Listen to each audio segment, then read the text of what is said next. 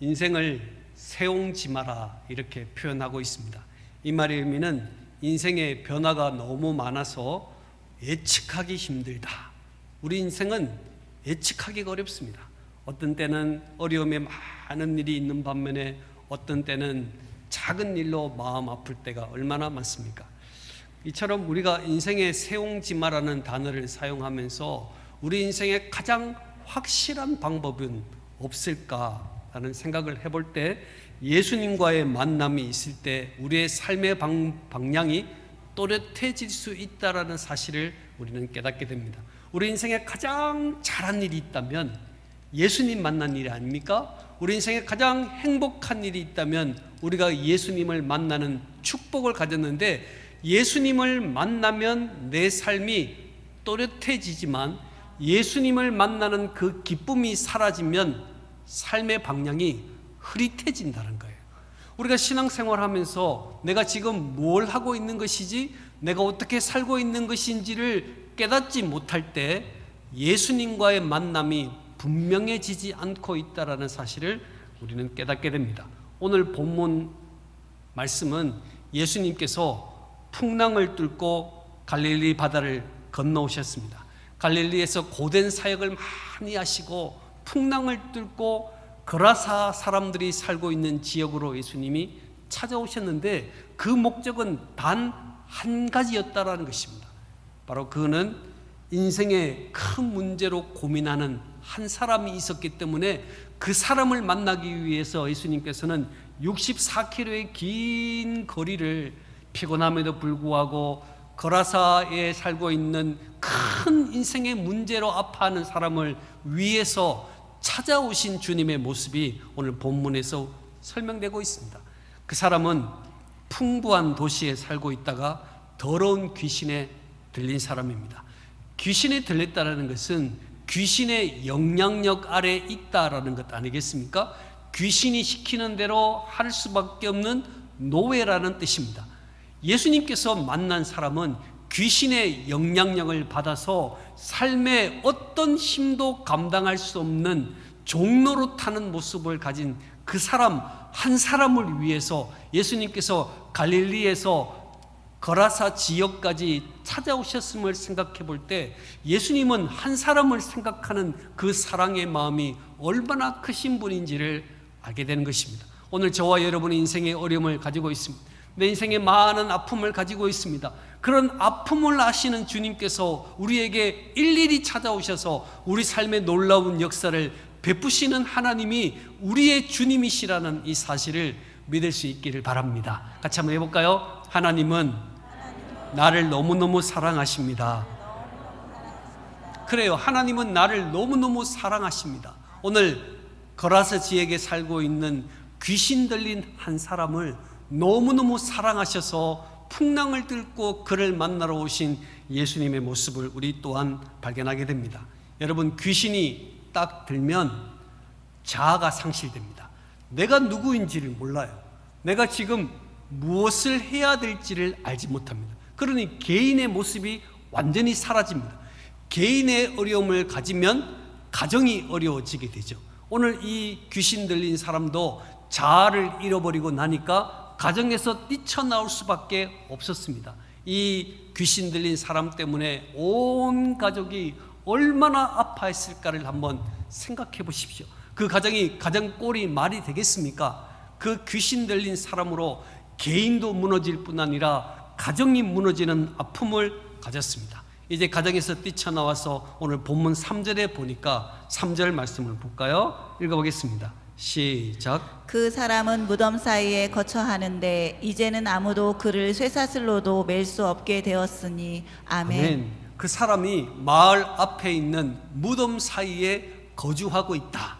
여러분 무덤에 거주한다는 것은 얼마나 무서운 일입니까? 그런데 그 그토록 무서운 일도요 계속 반복되면 익숙해진다는 거예요.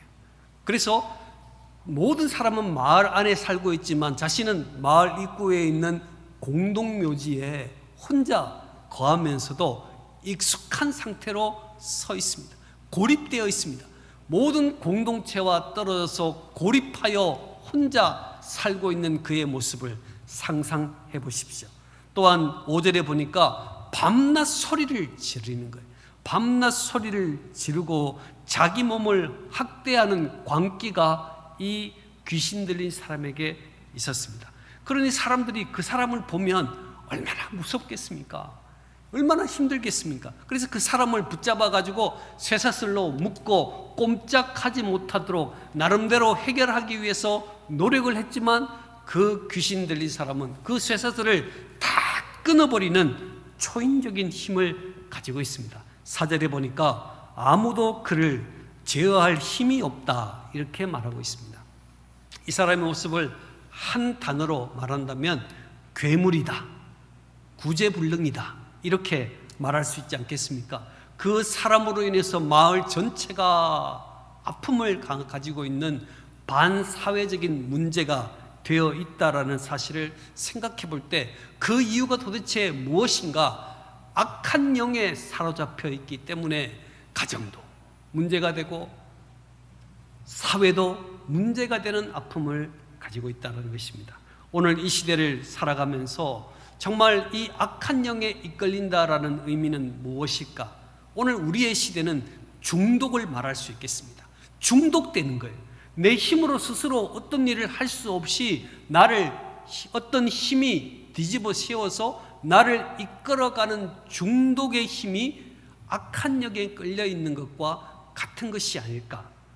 알코올, 술에 중독되어 있고, 마약에 중독되어 있고, 성에 중독되고, 도박에 중독되어 있는, 또한 잘못된 이단 사상에 중독되어 있는 내 욕심에 중독되어서 내 힘으로 살아가는 게 아니에요.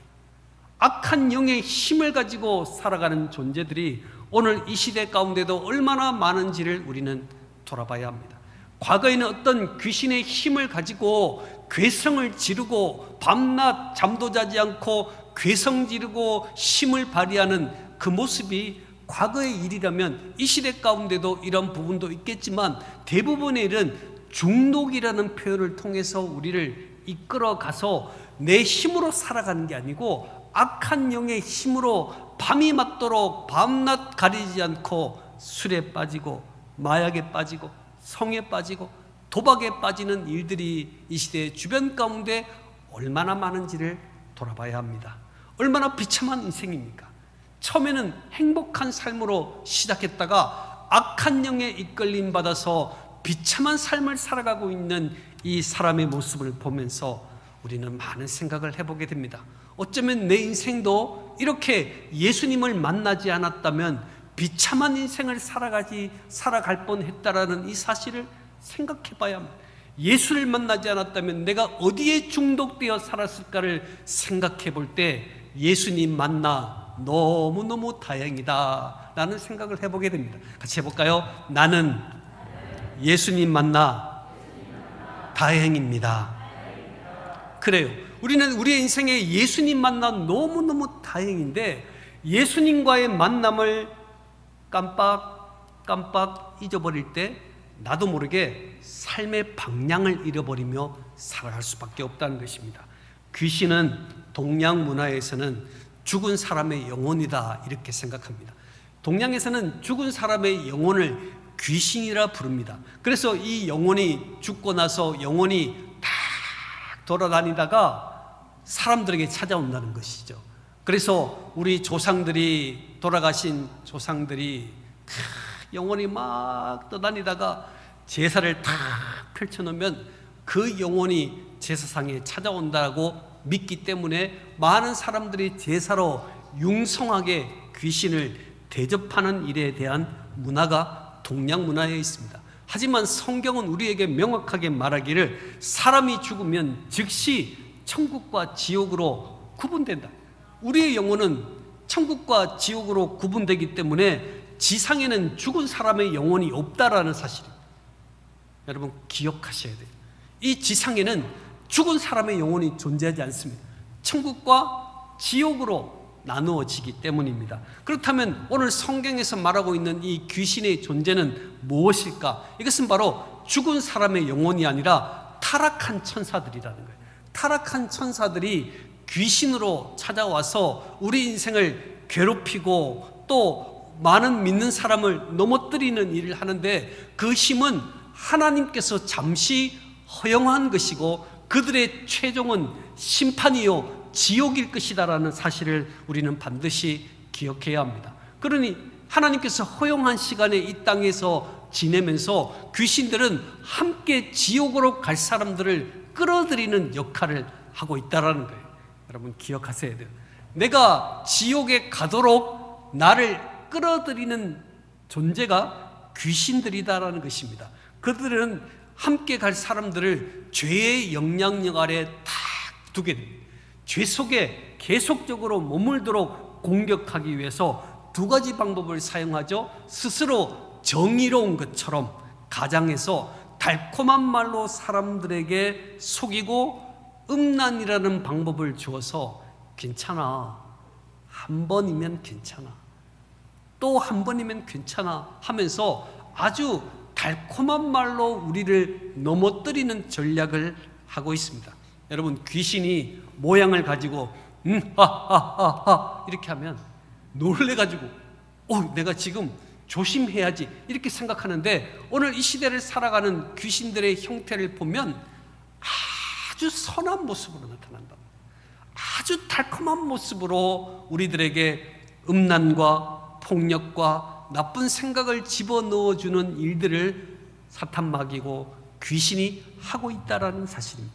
때로는 강한 힘, 기적을 보여줘 가지고 많은 사람들이 그 기적을 보고 자신을 따를 수 있도록 만드는 역할도 귀신이 하는 겁니다. 그러니 이 시대를 가만히 생각해 보면 미디어라는 TV와 인터넷을 통해서 아주 자연스럽게 죄악을 범할 수 있도록 아주 자연스럽게 동성애도 아무런 문제가 되지 않는 것처럼 아주 자연스럽게 폭력도 아름다운 것처럼 미워하며 살아가는 이 시대를 우리가 살아가고 있다는 거예요.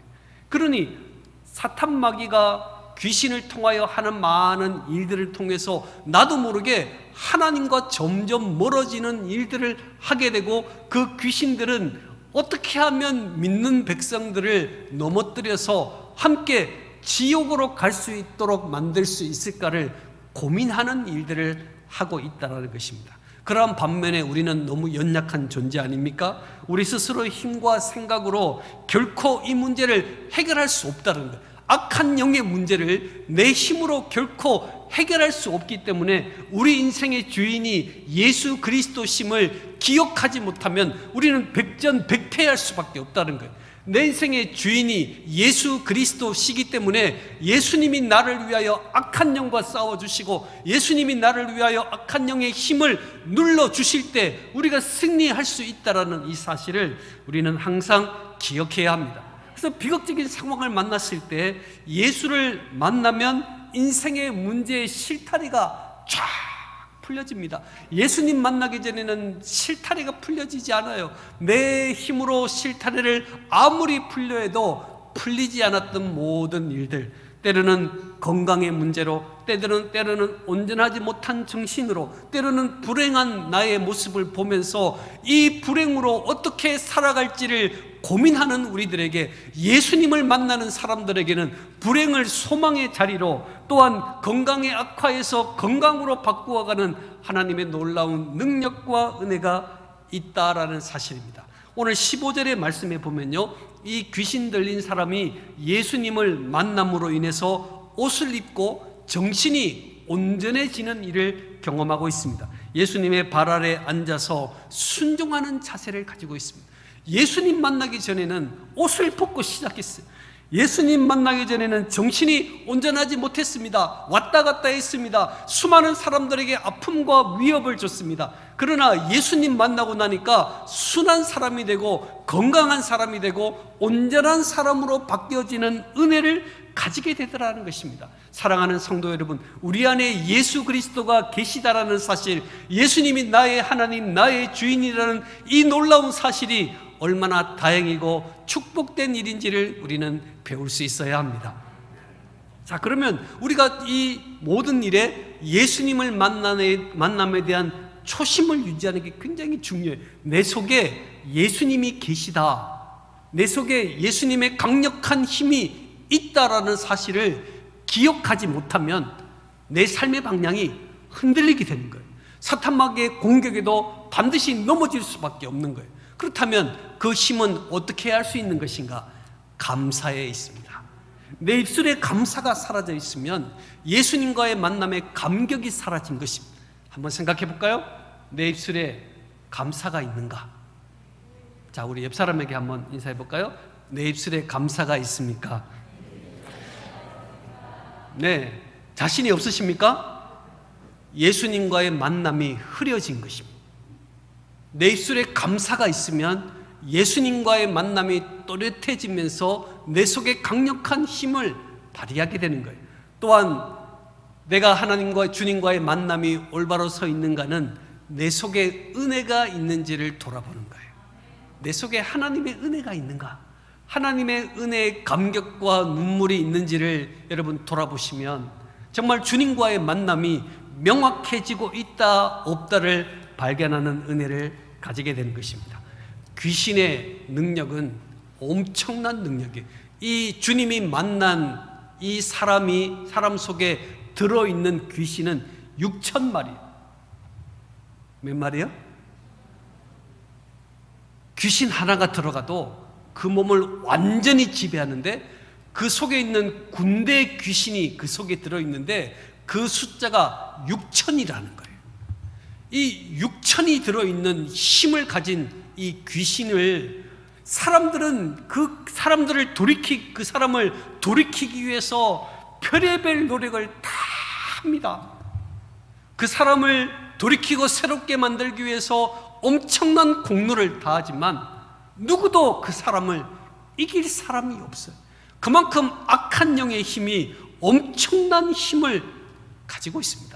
오늘 본문 6절에 보니까 한번 읽어보겠습니다. 예수님을 만났을 때 6절 읽어보겠습니다. 그가 멀리서, 예수를, 예수를 보고 달려와 절하며. 아멘. 네, 오늘 6천 6천 마리의 큰 귀신의 힘을 가진 사람들. 세상에 어떤 사람도 이 귀신 들린 사람을 이길 수 있는 자가 한 명도 없었습니다. 그 마을에 골칫거리였습니다. 그 말, 그 마을에 이 사람을 통해서 마음 아파하는 사람이 두려워하는 사람이 제대로 살아가고자 하는 사람이 있었지만 그 사람으로 해서 아파하는 사람이 너무너무 많았는데 도무지 누구도 감당할 수 없었는데 예수님께서 배에서 내리시니까 이 귀신 들린 사람이 예수를 보고 달려가 엎드려 절하고 있는 것입니다. 그리고 7절 말씀 읽어보겠습니다. 시작. 큰 소리로 부르짖어 이르되 지극히 높이신 하나님의 아들 예수여 나와 당신이 무슨 상관이 있나이까 원하건대 하나님 앞에 맹세하고 나를 괴롭히지 마옵소서 하니 아멘. 아멘. 자 보십시오. 큰 소리로 부르짖어 말하기를 지극히 높으신 하나님의 아들 예수여 이렇게 말했어요. 지금까지 예수님이 사역하시는 가운데서도 예수님을 따르면서도 하나님의 아들이라고 사람들이 잘 모르고 있습니다. 그런데 누구는 알고 있어요? 귀신은 알고 있다. 그래서 귀신같이 안다. 이 말이, 이 말. 귀신같이 알아보는 거예요. 예수님을 알아보는 겁니다. 예수님은 아는데 예수를 믿지 못하니 적대 감정을 가지고 있는 것이죠. 귀신, 귀신 들린 사람이 예수님 앞에 나와 무릎을 꿇고 절하며 말하고 있습니다. 지극히 높으신 하나님의 아들 예수여, 나와 당신이 무슨 상관이 있길래 나를 이렇게 괴롭히십니까? 제발 괴롭히지 마세요. 라고 벌벌 떨면서 예수님 앞에 절하고 있는 귀신의 모습을 우리는 본문을 통해서 보게 됩니다. 왜 그랬을까? 도대체 어떤 힘이 있었을까를 우리는 생각하게 되죠. 8절 말씀입니다. 자, 그 이유가 나옵니다. 읽어보겠습니다. 시작. 이는 예수께서 이미 그에게 이르시기를 더러운 귀신아 그 사람에게서 나오라 하셨음이라. 아멘. 아멘. 예수님께서 이미 거라사에 있는 귀신 들린 사람을 보시고 더러운 귀신아 그 사람에게서 나오라. 더러운 귀신아 그 사람에게서 나오라라고 선언했을 때 그 이야기를 들은 귀신이 두렵고 떨리는 마음으로 주님 앞에 와서 제발 나를 괴롭히지 마세요. 제발 괴롭히지 마세요. 라고 말하고 있다는 것입니다. 여러분 많은 사람들은 생각하기를 귀신들이 하나님과 동능한 힘을 가지고 있다 이렇게 생각하는 사람들이 있습니다. 그렇지 않습니다. 귀신들과 사탄 마귀는 하나님의 통제 아래 에 있는 것입니다. 그래서 선악을 구분하는 것이 아니라 선은 반드시 이기고 악은 잠시 성공하는 것 뿐이라는 사실을 우리는 기억해야 합니다. 그토록 큰 힘을 가진 귀신도 주님 앞에 벌벌 떨고 있습니다. 이 악한 귀신아, 악한 더러운 귀신아, 그 몸에서 떠나라 라고 말했을 때 그는 벌벌 떨며 주님 앞에 서 있는 이 모습을 우리는 본문을 통해서 보면서 주님의 이름이 예수의 이름이 이렇게 강력한 예수 그리스도의 이름이 이렇게 강력한 힘을 발휘하는데 오늘 저와 여러분은 그 이름의 권세를 가지고 있으면서도 그 힘을 발휘하지 못하고 살아가는 우리의 모습을 보게 됩니다. 우리가 주님의 이름으로 기도하고 주님의 이름으로 예배하고 주님의 이름으로 말씀을 선포할 때 귀신이 떠나는 역사를 가지는데 우리는 주님을 가지고 있으면서도 주님의 능력을 알고 있으면서도 사탄 마귀를 너무 편하게 해주는 거예요. 자꾸 우리를 공격하도록, 자꾸 우리에게 유혹하도록 편한 환경을 만들어가고 있는 우리의 모습을 한번 생각해 보십시오. 여러분, 우리는 영적 싸움에서 하나님을 의지하고 말씀을 선포하고 찬양을 높이고 기도할 때 귀신이 괴로워하고 있다라는 사실을 우리는 인정하고 인식해야 한다는 거예요. 여러분, 우리 가정에 영적 환경을 만들어 가야 되지 않겠습니까? 우리 가정에 찬양이 살아있고, 우리 가정에 예배가 살아있고, 우리 가정에 기도가 살아있고. 네, 웬만하면 아멘 하셔야 되는데. 자, 해볼까요? 우리 가정에 예배가 살아있고, 우리 가정에 기도가 살아있고, 우리 가정에 감사가 살아있으면 여러분, 귀신이 떠나가는 거예요. 악한 영이 떠나가는 것. 우리의 모든 생애 가운데서 우리가 주님의 이름을 더 높이고 주님을 찬양하고 주님을 경배하면 악한 영이 떠나가는 역사가 있는데 우리 너무 악한 영이 우리 가정을 지배하도록 놔둔다는 거예요. 찬양하지 않고 예배드리지 않고 말씀 보지 않고 주일 예배드리, 예배드리면서 주님, 내 인생의 주님은, 주인은 하나님이십니다. 주인님이십니다. 라고 고백하지만 여러분의 가정에 돌아가서 정말 주인은 주님 맞습니까? 우리 가정에 예배가 살아있습니까? 우리 가정에 찬양이 살아있습니까? 우리 가정에 하나님을 사랑하는 마음이 살아 있습니까? 그러면 악한 영이 떠나가는 역사를 가지는 거예요. 여러분, 주님을 믿고 하루에 세 번 신실하게 주님 앞에 식사 기도할 수 있는 믿음만 있으면 절대 점괘가 안 나옵니다. 여러분이 몰래 몰래 숨어서 사주팔자 보고 그러신 분들이 있는데 그거 알려주면 다 가짜예요. 여러분이 가짜든지 그 사람이 가짜든지 그래요. 여러분 예수님의 이름의 권세가 얼마나 능력이 있는지 몰라요. 여러분 이 세상의 만물의 주관자 되신 주님을 우리의 주인으로 모시는 살아가는 성도 여러분 우리가 왜 두려워하십니까? 왜 연약한 마음으로 서 있습니까? 예수의 이름으로 강력하게 선언할 수 있는 저와 여러분 되시기를 바랍니다. 여러분 우리의 인생에 모든 문제가 있을 때 예수의 이름으로 물러가라고 선언할 수 있는 저와 여러분 되시기를 바랍니다. 여러분 내 힘으로는 안 돼요. 내 힘으로는 안 돼요. 물러가라 안 물러가요. 물러가라 안 물러가요. 그래서 예수 그리스도의 이름을 의지하여 물러가라고 선언하는 거예요. 우리 우리 속에 두려운 마음을 향하여 예수의 이름으로 물러가라고 선언하는 거예요. 내 연약한 질병을 향하여 예수의 이름으로 물러가라고 선언할 때 놀라운 역사가 일어난다라는 사실입니다. 여러분 우리 가정을 영적 가정으로 만들 수 있기를 바랍니다. 여러분 영적 가정으로 만드셔야 돼요. 아무리 내가 믿음이 좋아도 영적인 분위기를 만들지 못하면 악한 영이 우리 자녀를 삼킨다니까요. 악한 영이 우리 남편을 삼킨다니까요. 목사님, 저는 10년 동안 기도했는데 남편이 저 모양입니다. 남편 믿음 보세요. 저 모양입니다. 여러분, 나 혼자 믿음이 아니고요. 우리 가정이 영적인 분위기로 바뀌어야 돼요. 늘 기도하고, 늘 찬양하고, 늘 감사하고, 늘 은혜 속에 살아가는 영적 분위기를 만들면 누가 떠난다고요? 악한 영이 떠난다는 거예요. 악한 영이 떠나서 우리 가정의 행복과 기쁨을 가지게 된다는 사실입니다. 귀신은 우리에게 하찮은 존재라고 우리를 파괴할 수밖에 없는 존재라고 우리를 말하고 있지만 우리 주님은 한 사람의 영혼을 천하보다 귀히 여기시는 분이십니다. 그래서 희망이 있는 거예요.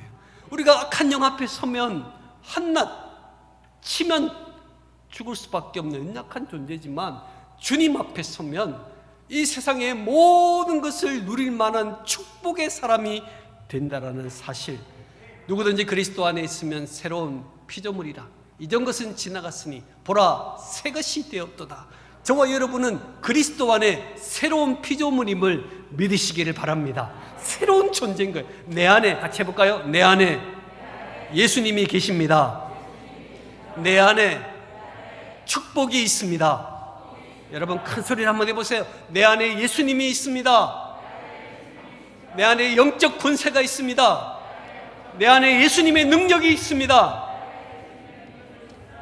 사랑하는 성도 여러분, 거라사인이 살아가는 모든 지역이 이 한 사람 때문에 고통을 받았어요.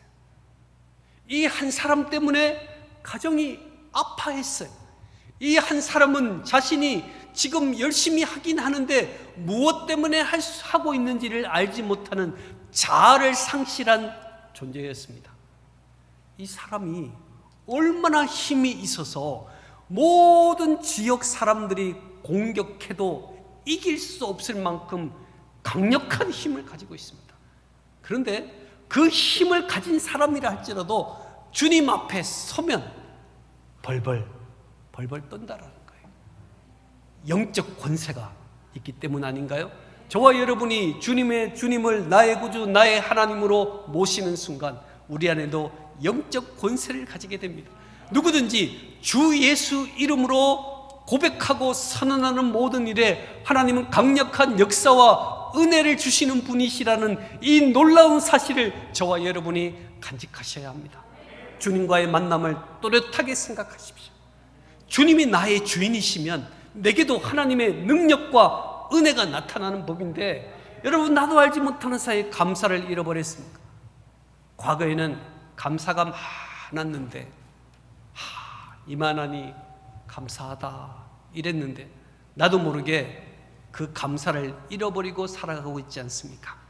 하나님의 은혜가 너무너무 커서 말씀을 듣고 예배를 드릴 때 감격과 눈물이 내게 있었는데 그 눈물이 메말라 가고 있지는 않으십니까? 주님과의 만남을 또렷하게 한번 점검해 보십시오.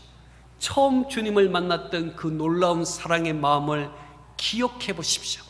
나는 그리스도 안에서 새로운 피조물이다. 내가 인생을 살아가는 것이 아니라 내 속에 계신 주님이 내 삶을 인도하고 계신다라는 이 사실을 인생에서 만난 주님을 발견하는 그 인생이 저와 여러분에게 있을 때 우리는 행복하고 존귀한 존재가 될 수 있습니다. 여러분 계속해서 여러분 기도하십시오.